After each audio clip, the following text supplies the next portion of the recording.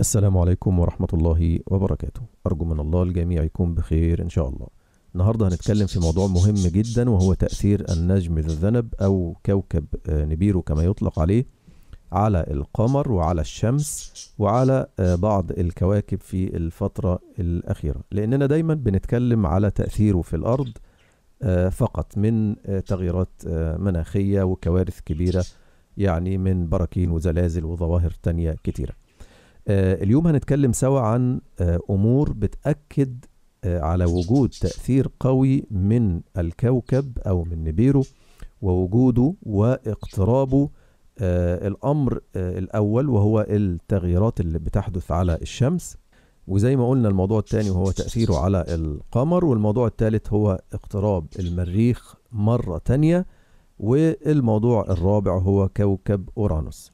واللي آه، كتير بدأوا يشوفوه ويتسألوا عليه خوفا وظنا إنه النجم ذو الذنب آه، أو نبيرو الأمر المهم جدا وملاحظ الفترة الأخيرة هو آه، اتساع وزيادة درجة الشروق والغروب المتغيرة طبعا على مدار السنة. ولابد نوضح الأمر قبل ما نتكلم في التأثير ده لأن بعض الناس بيعتقد إن الشمس بتشرق وتغرب من نقطة واحدة.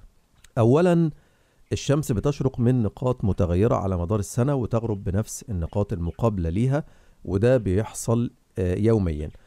وده طبعا من ضمن الإعجاز في القرآن الكريم في آية رب المشارق والمغارب ورب المشرق والمغرب. زي ما إحنا شايفين مع بعض آه، آه، بتشرق من النقاط دي وتغرب قصادها من ناحية الغرب زي ما قلنا. وده كتير مننا من اللي بيتابع الغروب والشروق خاصة الغروب هيلاقي إنك أنت لو بتبص من شباك بيتك مثلا من مكان آه، من شباك معين وبتشوف الغروب آه، أوقات معينة من السنة في أوقات تانية ما بتشوفش الغروب. يعني لو أنت قاعد من نفس الشباك آه، في الصيف غير في الشتاء. وده ناس كتير بتاخد بالها من الموضوع ده وبتحسبه إن هو يعني حاجة آه، غريبة وغير معتادة لكن آه، ده ده طبيعي يعني. لأن بيكون في أوقات معينة اللي هي تسمى يومي الاعتدال آه، الخريفي اللي بيكون آه، من يوم 20 أو 21 أو 22 أو 23 9 يعني في خلال الأيام دي من 20 ل 23 بيبقى اسمه يوم الاعتدال الخريفي آه، من 20 ل 23 9 آه، والاعتدال الربيعي يوم آه، 20 أو 21 أو 22 3 عشان نبقى حافظين ال- ال- التواريخ دي. يعني 23 9 أو 22 3 ده الاعتدال الخريفي وده الاعتدال الربيعي. آه وبيبعد حسب ابتعاد المكان اللي انت فيه أو الدولة مثلا اللي انت فيها عن آه خط الاستواء اللي هو برضو عايزين نقول برضو معلومة ان هو غير صحيح ومتعمد تغييره علشان مكة المكرمة ما تكونش هي المركز وما تكونش بتمر على خط الاستواء.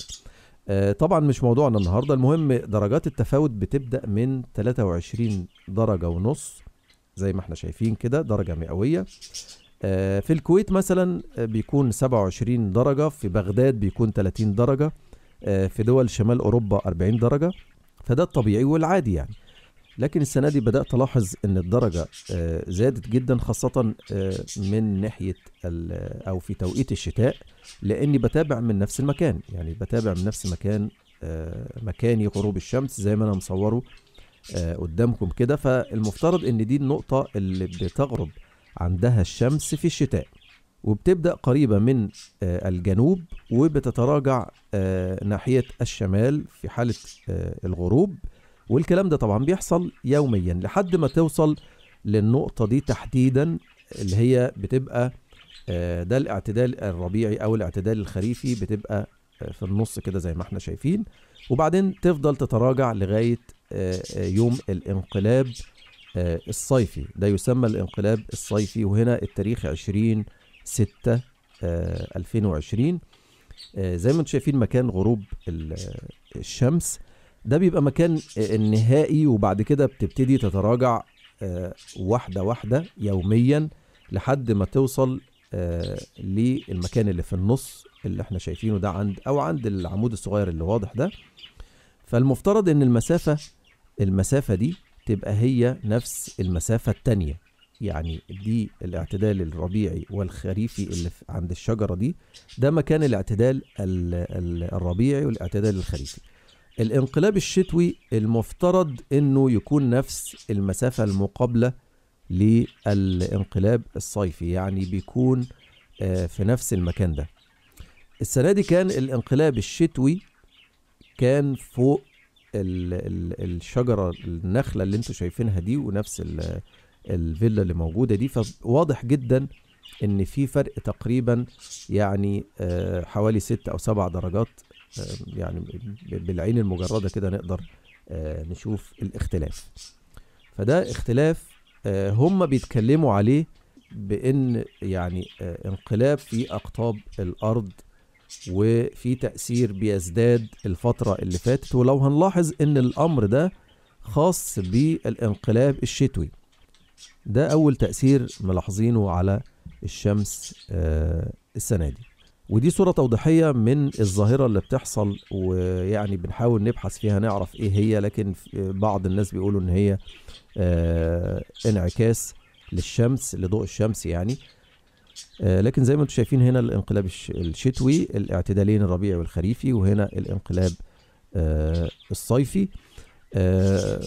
فالمسافة المفترض إن هي بتكون مسافة واحدة بالظبط لكن الاختلاف إحنا شفناه مع بعض. من ضمن الأمور اللي بدأت تظهر في الشمس مثلا موضوع ظهور الضوء الغريب بعد الغروب بفترة كبيرة جدا وملوش دخل بالشمس خالص. طبعا اتكلمنا في الموضوع ده قبل كده لما ظهر في كذا دولة وخاصة كان في السعودية والناس قالت الشمس بت يعني خلاص بتشرق من المغرب و... وهترفع التوبة. وكانت الناس مرعوبة ساعتها وقلنا إن ده تأثيره بخاص تأثير خاص بالنجم الذنب وإن الأمور بعد كده لسه هتزداد في الظواهر دي. ولكن الأمر بيتكرر لغاية النهارده على فترات.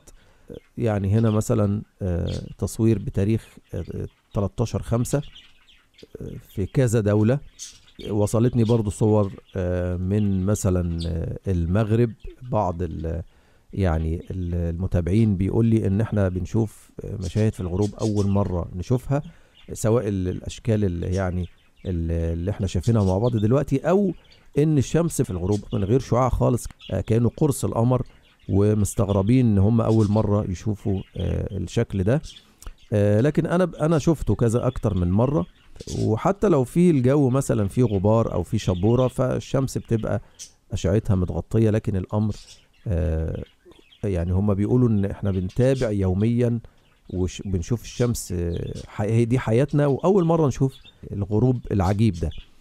برضو ظاهرة الشمس اللي أطلقوا عليها الشمس الكاذبة آه اللي بيقولوا إن هي بتحدث بسبب انكسار أشعة الشمس وبتمر من خلال آه بلورات الثلج الموجودة في طبقات السحب الرقيقة. آه العالية والباردة فبتظهر شمس وهمية إلى اليسار. لكن الكلام ده أنا مش مقتنع بيه لأن آه آه الأمر ده بيظهر بطريقة معينة. لكن لما يظهر آه كوكب بيتحرك في اتجاه آه بعيد خالص عن اتجاه الشمس وليه حركة مختلفة فما تقدرش إن تقول لي إن ده بسبب انكسار أشعة الشمس ابدا يعني. أنا صدقك لما يكون حد مثلا بيصور ونفس الحجم ما بيتغيرش ونفس اتجاه الشمس وماشي مع نفس اتجاه الشمس فممكن الاحتمال ده يكون وارد وكلامك صحيح. آه لكن لما أشوف كمان يعني يعني إحنا لو لاحظنا في الصور اللي هم حاطينها هتلاقي الأماكن آه مختلفة الأحجام مختلفة ممكن تكون واحدة بعيدة خالص وواحدة آه يعني مبتعد عنها تماما. آه دي مغيرة شكل السحب ودي ملهاش إضاءة فما تقدرش تقول إن ده آه انكسار أشعة الشمس ابدا يعني. كمان من ضمن التأثيرات القوية جدا هي زيادة درجة حرارة الشمس بقوة وفي تفاوت ما بين الصبح وما بين بالليل تفاوت غريب جدا درجات الحرارة بتزداد بطريقة عجيبة جدا. وممكن تاني يوم تلاقي في شتاء مفاجئ. وده وضع طبعا مش طبيعي أو مش دي فصول السنة اللي إحنا واخدين عليها درجات الحرارة. بقت مرتفعة جدا جدا آه، بالنسبة للتأثير على القمر. آه، طبعا انتفاخ الأهلة بدأ يظهر من سنتين ثلاثة تقريبا إحنا خدنا عليه يعني خلاص. لكن في زيادة آه، ضوء القمر نفسه زيادة ضوء القمر بقت غير المعتادة زيادة حجمه ولذلك آه، بنلاقي تقارير كتيرة قوي عن القمر العملاق ويعني وصول القمر لنقطة الحضيض الأول كنا بنسمعها على فترات آه، كبيرة قوي. دلوقتي على فترات آه، قريبة جدا بنسمع عن آه، القمر العملاق بنسمع عن إن القمر وصل لنقطة الحضيض. يعني نقطة الحضيض هي أقرب نقطة ليه من الأرض. فهل الأمر ده بيتكرر على مدار السنة كذا مرة؟ لا ما كانش بيحصل الكلام ده.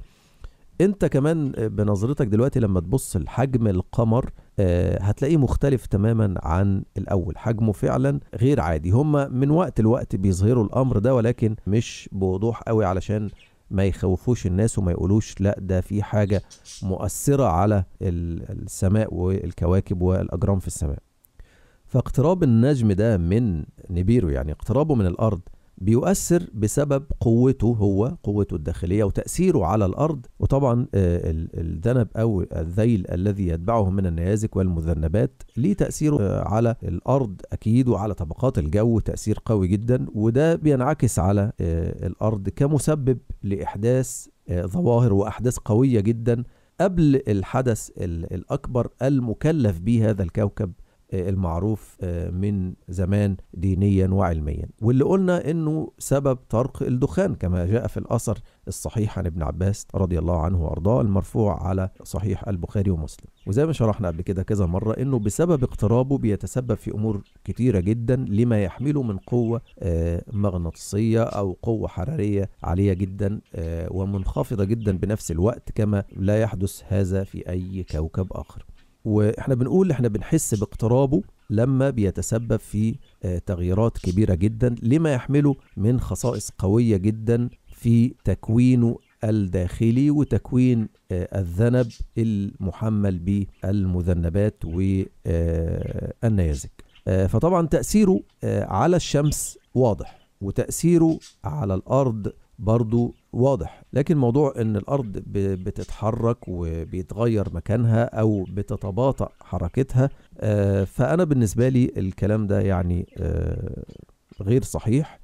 فكل التأثيرات دي على الشمس أو على القمر آه، يبدو والله أعلم إن هي هتفضل مستمرة لحد يعني ما يقترب الكوكب نفسه ليؤدي المهمة المطلوبة منه وهي طرق الدخان في العالم كله لتكون يعني أولى العلامات الكبرى لآخر الزمان. آه، أما الموضوع الثالث وهو اقتراب المريخ مرة تانية اقتراب المريخ يعني ظهر معايا في خلال الأسبوع اللي فات ده. بدأ حجم المريخ يكبر زي ال- الفترة اللي فاتت ولكن لسه ما وصلش للحجم اللي وصل له السنتين اللي فاتوا وكنا بنتابعه آه، يوميا. آه، ولسه بنراقبه اليومين دول لكن بدأ يظهر بعد اختفاء أو يعني ظهور بحجم صغير أو الحجم الطبيعي اللي إحنا بنقدر نشوفه. فلسه هنتابع المريخ الفترة اللي جاية إن شاء الله وهنشوف إذا كان في تأثير عليه آه، أو لأ. لكن الأغرب بقى آه، والموضوع الرابع اللي هو كوكب أورانوس الموضوع ده مهم جدا نتكلم فيه لأن ناس كتير سألتني وما زالت بتسألني دلوقتي آه، عن الكوكب أو اللي بيقولوا إن هو ده النجم ذو الذنب لأنه كمان بيظهر من مكان عجيب قوي اللي هو مكان ال- الشروق أو من الشرق وقت قبل الفجر لحد يمكن لحد الشروق بيبقى ظاهر بشكل مرعب جدا وشكل مخيف وحجم كبير قوي قوي تخطى كل أحجام ال- الكواكب اللي كنا بنشوفها. ولسه طبعا بيبان آه، لغاية النهارده آه، لو أي حد آه، قبل الفجر هيتابع وبعد الفجر هيتابع هيشوف إن فعلا كوكب أورانوس باين بحجم عجيب قوي وحجم مخيف. يمكن خمس ست أضعاف حجمه المعتاد لأن هو ما بيظهرش قوي زي مثلا كوكب الزهرة أو ال- المشتري. لكن